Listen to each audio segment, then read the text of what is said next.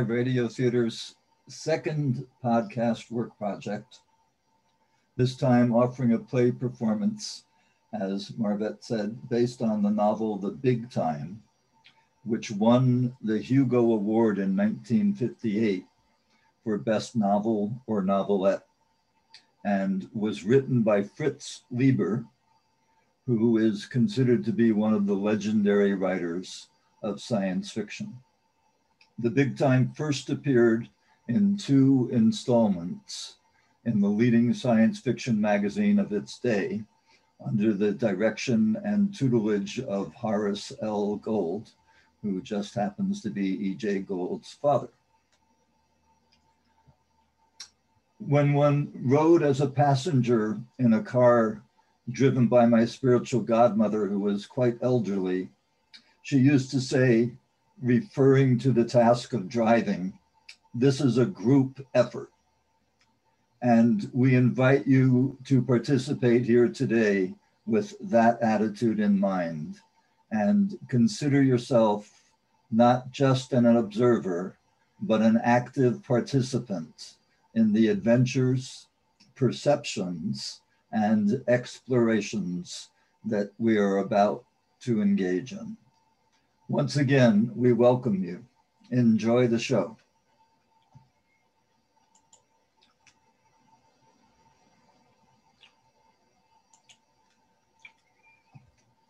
The Big Time by Fritz Leiber.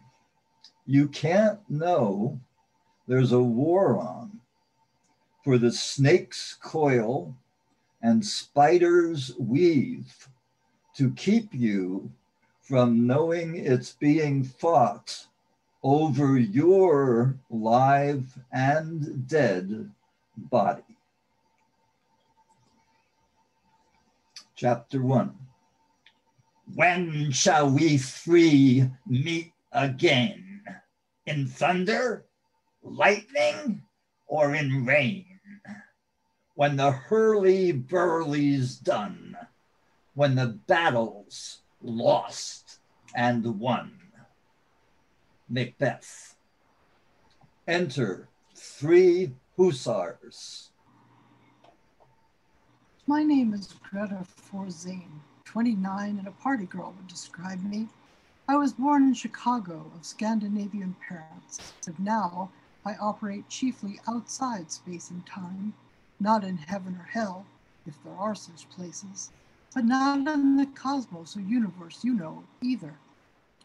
I am not as romantically entrancing as the immortal film star who also bears my first name, but I have a rough and ready charm of my own.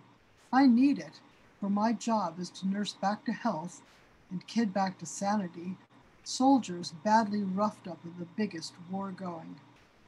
This war is the change war, a war of time travelers.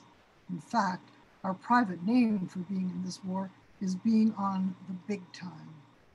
Our soldiers fight by going back to change the past or even ahead to change the future in ways to help our side win the final victory a billion or more years from now. A long killing business, believe me. You don't know about the change war, but it's influencing your lives all the time, and maybe you've had hints of it without realizing. Have you ever worried about your memory because it doesn't seem to be bringing you exactly the same picture of the past from one day to the next? Have you ever been afraid that your personality was changing because of forces beyond your knowledge or control? Have you ever felt sure that sudden death was about to jump you from nowhere? Have you ever been scared of ghosts? Not the storybook kind, but the billions of beings who were once so real and strong it's hard to believe they'll just sleep harmlessly forever. Have you ever wondered about those things you may call devils or demons? Spirits able to range through all time and space, through the hearts of stars and the cold skeleton of space between the galaxies? Have you ever thought that the whole universe might be a crazy, mixed up dream? If you have, you've had hints of the change war how I got recruited into the change war, how it's conducted, what the two sides are, why you don't consciously know about it, what I really think about it, you'll learn in due course. The place outside the cosmos where I and my pals do our nursing job, I simply call the place. A lot of my nursing consists of amusing and humanizing soldiers fresh back from raids into time. In fact, my formal title is entertainer, and I've got my silly side, as you'll find out. My pals are two other gals and three guys from quite an assortment of times and places. We're a pretty good team, and with Sid bossing, we run a pretty good recuperation station. But we have our family troubles. But most of our troubles come slamming into the place with the beat up soldiers who've generally just been through hell and want to raise some of their own. As a matter of fact, it was three newly arrived soldiers who started this thing I'm going to tell you about. This thing that showed me so much about myself and everything. When it started, I had been on the big time for a thousand sleeps and 2,000 nightmares, and working in the place for the 500 1,000. This two nightmare routine every time you lay down your dizzy little head is rough, but you pretend to get used to it because being on the big time is supposed to be worth it. The place is midway in size and atmosphere between a large nightclub where the entertainers sleep in and a small Zeppelin hangar decorated for a party, though a Zeppelin is one thing we haven't had yet. You go out of the place, but not often if you have any sense, and if you are an entertainer like me, into the cold light of a morning filled with anything from the earlier dinosaurs to the later spacemen, who look strangely similar except for size. Solely on doctor's orders, I have been on cosmic leave six times since coming to work at the place, meaning I have had six brief vacations, if you care to call them that, for believe me, they are busman's holidays, considering what goes on in the place all the time. The last one I spent in Renaissance Rome, where I got a crush on a Cesare Borgia. But I got over it. Vacations are for the birds, anyway, because they have to be fitted by the spiders into serious operations of the Change War. And you can imagine how restful that makes them. See those soldiers changing the past? You stick along with them. Don't go too far up front, though, but don't wander off either. Relax and enjoy yourself. Ha! Now, the kind of recuperation soldiers get when they come to the place is a horse of a far brighter color, simply dazzling by comparison. Entertainment is our business, and we give them a bang up time and send them staggering happily back into action. But once in a great while, something may happen to throw a wee shadow on the party. I am dead in some ways. Don't let that bother you. I'm lively enough in others. If you met me in the cosmos, you would you would be more apt to yak with me, or try to pick me up, than ask a cop to do same, or father to douse me with his holy water, unless you're one of those hard-boiled reformer types. But you are not likely to meet me in the cosmos because Bar Basin Street in the Prater, 15th century Italy, and Augustan Rome, until they spoiled it, are my favorite. Ha! vacation spots, and as I've said, I stick as close to the place as I can. It is really the nicest place in the whole change world. Crisis, I even think of it capitalized. Anywho, when this thing started, I was twiddling my thumbs on the couch nearest the piano and thinking it was too late to do my fingernails, and whoever came in probably wouldn't notice them anyway. The place was jumpy, like it always is on an approach, and the gray velvet of the void around us was curdled with the uneasy lights you see when you close your eyes in the dark. Sid was tuning the maintainers for the pickup, and the right shoulder of his gold worked gray doublet was streaked where he'd been wiping his face on it with quick ducks of his head. Beauregard was leaning as close as he could over Sid's other shoulder, one white trousered knee indenting the rose plush of the control divan, and he wasn't missing a single flicker of Sid's old fingers on the dials. Beau's co-pilot, besides piano teacher, piano player. Beau's face had that dead blank look it must have had when every double eagle he owned, and more he didn't, were riding on the next car to be turned in the gambling saloon at one of those wedding cake Mississippi steamboats. Doc was soused as usual, sitting at the bar with his top hat pushed back and his knitted shawl pulled around him, his wide eyes seeing whatever horrors a life in Nazi occupied Tsarist Russia can add to being a drunk demon in the change world. Maud, who is the old girl, and Lily, the new girl, of course, were telling the big beads of their identical pearl necklaces. You might say that all of us entertainers were a bit edgy. Being demons doesn't automatically make us brave. Then the red telltale on the major maintainer went out, and the door began to darken in the void facing Sid and Bo, and I felt the change winds blowing hard, and my heart missed a couple of beats. And the next thing, three soldiers had stepped out of the cosmos and into the place, their first three steps hitting the floor hard as they changed times and weights. They were dressed as officers of hussars, and we'd been advised, and, praise the Bonnie Dew, I saw that the first of them was Eric, my own dear little commandant, the pride of the von Hohenwalds and the terror of the snakes. Behind him was some hard faced Roman or other, and beside Eric, and shouldering into him as they stamped forward, was a new boy, blond with a face like a Greek god who's just been touring a Christian hell. They were uniformly exactly alike in black, shakos, fur edged pelisses, boots, and so forth, with white skull emblems on the shakos.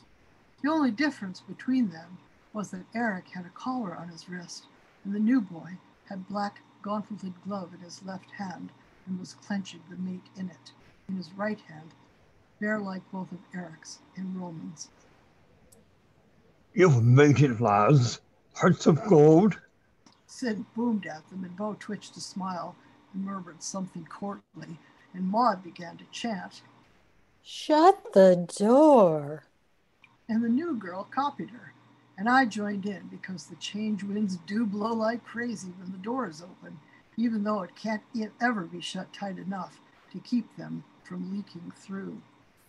Shut it before it blows wrinkles in our faces, she called in her gammon voice to break the ice, looking like a skinny teenager in the tight knee length frock she'd copied from the new girl. But the three soldiers weren't paying attention. The Roman, I remembered his name was Mark, was blundering forward stiffly, as if there was something wrong with his eyes, while Eric and the new boy were yelling at each other about a kid and Einstein and a summer palace and a bloody glove and the snakes having booby trapped St. Petersburg. Eric had that taut, sadistic smile he gets when he wants to hit me. The new boy was in a tearing rage. Why'd you pull us out so bloody fast? We fair chewed the Nevsky Prospect to pieces galloping away. Didn't you feel their stun guns do pop when they sprung the trap? Too soon, Gott sei Dank. I did. Not enough to numb a cat. Why didn't you show us action? Shut up. I'm your leader. I'll show you action enough. You won't. You're a filthy Nazi coward. Weibischer Engländer. Bloody Hun. Schlange. The blond lad knew enough German to understand that last crack. He threw back his sable edged pelisse to clear his sword arm, and he swung away from Eric, which bumped him into Beau. At the first sign of the quarrel, Beau had raised himself from the divan as quickly and silently as a no, I won't use that word, and slithered over to them. Sirs, you forget yourselves, he said sharply, off balance, supporting himself on the new boy's upraised arm. This is Sidney Lessingham's place of entertainment and recuperation. There are ladies. With a contemptuous snarl, the new boy shoved him off, and snatched with his bare hands for his saber. Beau reeled against the divan. It caught him in the shins, and he fell forward toward the maintainers. Sid whisked them out of the way, as if they were a couple of beach radios, simply nothing in the place is nailed down, and had them back on the coffee table before Beau hit the floor. Meanwhile, Eric had his saber out and had parried the new boy's first wild slash and lunged in return, and I heard the scream of steel and the rutch of his boot on the diamond studded pavement. Beau rolled over and came up, pulling from the ruffles of his shirt bosom a derringer I knew was some other weapon in disguise, a stun gun, or even an atropos. Besides scaring me damp for Eric and everybody, that brought me up short. Us entertainers' nerves must be getting as naked as the soldiers, probably starting when the spiders canceled all cosmic leaves 20 sleeps back. Sid shot Beau his look of command, rapped out, I'll handle this, you horse and firebrand. And turned to the minor maintainer. I noticed that the telltale on the major was glowing a reassuring red again, and I found a moment to thank Mama Devi that the door was shut.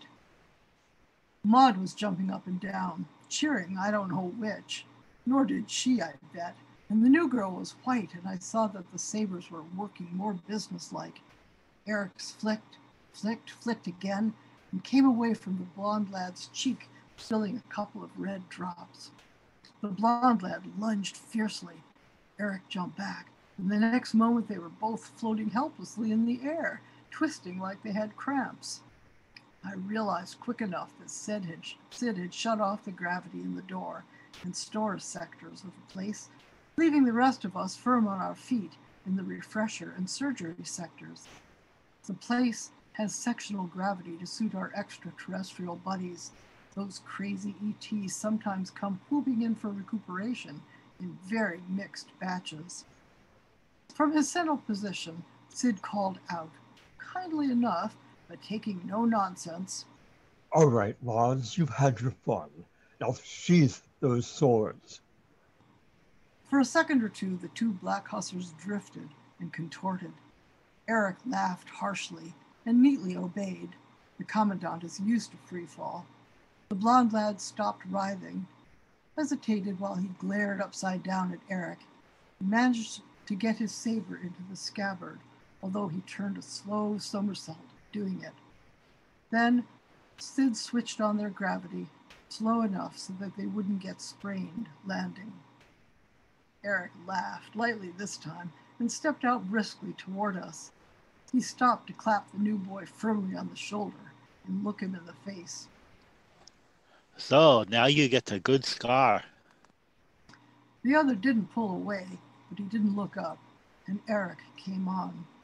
Sid was hurrying toward the new boy, and as he passed Eric, he wagged a finger at him and gaily said, You rogue. Next thing, I was giving Eric my man you're home hug, and he was kissing me and cracking my ribs and saying, Liebchen, Adoption. Which was fine with me because I do love him and I'm a good lover and as much a doppelganger as he is. We just pulled back from each other to get a breath. His blue eyes looked so sweet in his warm face when there was a thud behind us. With the snapping of the tension, Doc had fallen off his bar stool and his top hat was over his eyes. As we turned to chuckle at him, Maud squeaked, we saw that the Roman had walked straight up against the void and was marching along there steadily without gaining a foot. Like it does happen, his black uniform melting into that inside your head gray. Maud and Beau rushed over to fish him back, which can be tricky. The thin gambler was all courtly efficiency again. Sid supervised from a distance. What's wrong with him? I asked Eric. He shrugged. Overdue for a change shock. And he was nearest the stun guns. His horse almost threw him. Mein Gott, you should have seen St. Petersburg, Liebchen.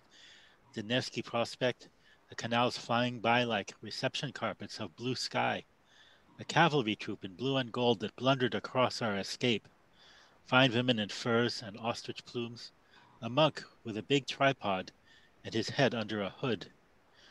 It gave me the horror seeing all those zombies flashing past, staring at me in that sick, unawakened way they have, and knowing that some of them, say the photographer, might be snakes.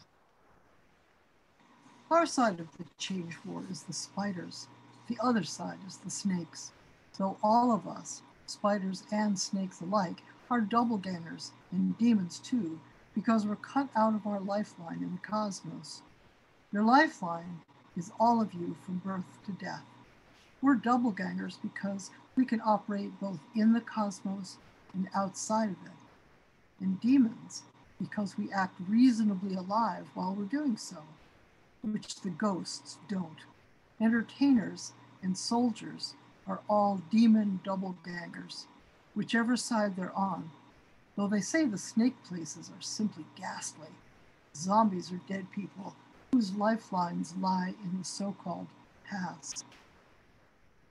What were you doing in St. Petersburg before the ambush? I asked Eric. That is, if you could talk about it. Why not? We were kidnapping the infant Einstein back from the snakes in 1883. Yes, the snakes got him, Liebchen. Only a few sleeps back, endangering the West's whole victory over Russia. Which gave your dear little Hitler the world on a platter for 50 years and got me loved to death by your sterling troops in the liberation of Chicago. But which leads to the ultimate victory of the spiders and the West over the snakes and communism, Liebchen. Remember that. Anyway, our counter snatch didn't work. The snakes had guards posted. Most unusual, and we weren't warned. The whole thing was a great mess. No wonder Bruce lost his head. Not that it excuses him. New boy? I asked. Sid hadn't gotten to him, and he was still standing with hooded eyes where Eric had left him, a dark pillar of shame and rage. Yeah, a lieutenant from World War One, an Englishman. I gathered that. Is he really effeminate? Weibischer? I had to call him something when he said I was a coward. He'll make a fine soldier, only needs a little more shaping. You men are so original when you spat. I lowered my voice. But you shouldn't have gone on and called him a snake, Eric mine. Schlang? His smile got crooked. Who knows about any of us? As St. Petersburg showed me, the snake spies are getting cleverer than ours. The blue eyes didn't look sweet now. Are you, Liebchen, really nothing more than a good loyal spider? Eric! All right, I went too far. With Bruce and with you too. We're all hacked these days, riding with one leg over the breaking edge. Maud and Beau were supporting the Roman to a couch, Maud taking most of his weight, with Sid still supervising and the new boy still sulking by himself. The new girl should have been with him, of course, but I couldn't see her anywhere, and I decided she was probably having a nervous breakdown in the refresher, little jerk. The Romans look pretty bad, Eric, I said. Ah, Mark's tough. Got virtue, as his people say. And our little starship girl will bring him back to life if anybody can. And if. You call this living. He was right. Maud had 50 odd years of psychomedical experience, 23rd century at that. It should have been Doc's job, but that was 50 drunks back. Maud and Mark, that will be an interesting experiment. Reminiscent of Goering's with the frozen men and the naked gypsy girls. You are filthy Nazi. She'll be getting she'll be using electrophoresis and deep suggestion if I know anything. How will you be able to know anything, Liebchen, if she switches on the couch curtains, as I perceive she is preparing to do? Filthy Nazi, I said and meant. Precisely. He clicked his heels and bowed a millimeter. Erich Friedrich von Hohenwald, Oberlieutenant in the army of the Third Reich, fell at Narvik, where he was recruited by the Spiders. Lifeline lengthened by a big change after his first death, and at latest report, Commandant of Toronto, where he maintains extensive baby farms to provide him with breakfast meat, if you believe the handbills of the Voyagers Underground. At your service. Oh, Eric, it's all so lousy, I said, touching his hand, reminded that he was one of the unfortunates resurrected from a point in their lifeline well before their deaths. In his case, because the date of his death had been shifted forward by a big change after his resurrection. And as every demon finds out, if you can't imagine it beforehand, it is pure hell to remember your future. And the shorter the time between your resurrection and your death back at the cosmos, the better. Mine, bless Babed Din, was only an action packed 10 minutes on North Clark Street. Eric put his other hand lightly over mine. Fortunes of the change, Vorliebchen. At least I'm a soldier and sometimes assigned to future operations. So why we should have this monomania about our future personalities back there, I don't know. Mine is a stupid Oberst, thin as paper and frightfully indignant at the Voyagers. But it helps me a little if I see him in perspective and at least get back to the cosmos pretty regularly, sei Dank. So I'm better off than you entertainers. I didn't say aloud that a changing cosmos is worse than none, but I found myself sending a prayer to the Bonnie Dew for my father's repose, that the changing winds would blow lightly across the lifelong Anton A. Forzane, professor of physiology, born in Norway and buried in Chicago Woodlawn Cemetery, is a nice gray spot. That's all right, Eric. We entertains got mittens too, he scowled at me suspiciously, as if he were wondering whether I had all my buttons on. Mittens? What do you mean? I'm not wearing any. Are you trying to say something about Bruce's gloves? Which, incidentally, seem to annoy him for some reason. No, seriously, Greta, why do you entertainers need mittens? Because we get cold feet sometimes. At least I do. Got mittens, as I say. A sickly light dawned on his Prussian puss. He muttered. Got mittens. Gott mit uns. God with us. Greta, I don't know how I put up with you the way you murder a great language for cheap laughs. You've got to take me as I am, mittens and all. Thank the Bonnie Dew. And I hasten to explain that's French. Le bon Dieu, the good God, don't hit me. I'm not going to tell you any more of my secrets. He laughed feebly like he was dying. Cheer up, I said. I won't be here forever, and there are worse places than the place. He nodded grudgingly, looking around. You know what, Greta? If you'll promise not to make some dreadful joke out of it, on operations, I pretend I'll soon be going backstage to court the world famous ballerina Greta Forzane. He was right about the backstage part. The place is a regular theater in the round, with the void for an audience. The void's gray, hardly disturbed by the screens masking surgery, ugh, refresher, and stores. Between the last two are the bar and kitchen and the Bose piano. Between surgery and the sector where the door usually appears are the shelves and tabourets of the art gallery. The control divan is stage center. Spaced around at a fair distance are six big, low couches, one with its curtains now shooting up into the gray, and a few small tables. It's like a ballet set, and, a, and the crazy costumes and characters that turn up don't ruin the illusion. By no means. Diaghilev would have hired most of them for the ballet russe on first sight, without even asking them whether they could keep time to music.